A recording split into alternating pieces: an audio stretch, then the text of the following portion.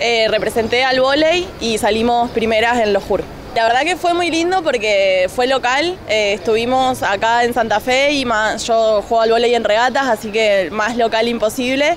Y bueno, fue muy lindo representar a la universidad en Santa Fe, en regatas. Eh, la verdad que nunca me había pasado esto, siempre habíamos viajado con la universidad y representarlo ahora acá y tener hinchada fue hermoso. Y yo creo que ese va a ser mi último torneo que voy a poder jugar porque como egresada creo que hasta el año que viene puedo.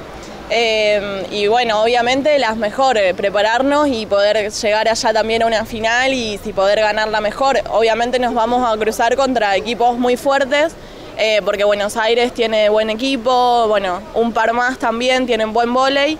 Eh, y bueno, ojalá podamos llegar bien y, poder meter otro podio como este año. Siempre reconocer al deporte y, más, o sea, por más del puesto que salgas, reconocer eh, a un deportista que estudia está buenísimo porque siempre mm, cuesta mucho encontrar ese, ese buen tiempo entre el estudio y el deporte y hacerlo acá y encima que te lo reconozca la universidad, eh, que te dé la oportunidad, está buenísimo. Representé a la UNL en el equipo de natación ganando tres pruebas individuales y las tres postas por equipo. Muy contento ya que bueno, me avisaron y volví a entrenar porque había dejado el año pasado, así que fue una motivación extra para, para volver y bueno, retomar el deporte y estuvo muy bueno, aparte de que se hizo acá en la misma ciudad.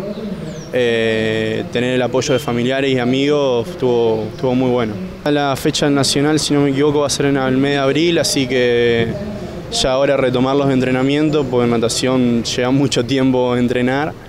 Y no, sí, la expectativa es alta para el nacional y bueno, ya de paso retomar el deporte a nivel federado que había dejado el año pasado.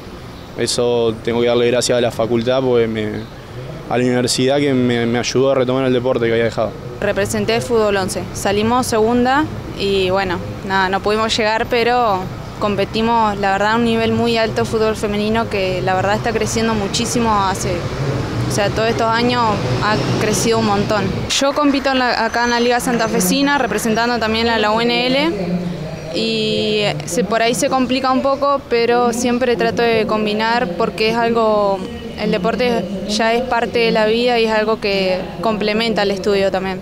Más desde el punto de vista del fútbol femenino que cuesta mucho por ahí reconocerse a la mujer jugando al fútbol y que la universidad represente y te reconozca a vos por hacer un deporte, por representar también la camiseta, está muy bueno y te hace sentir bien y sentir ganas de entrenar para el año que viene y seguir mejorando para poder competir a nivel nacional.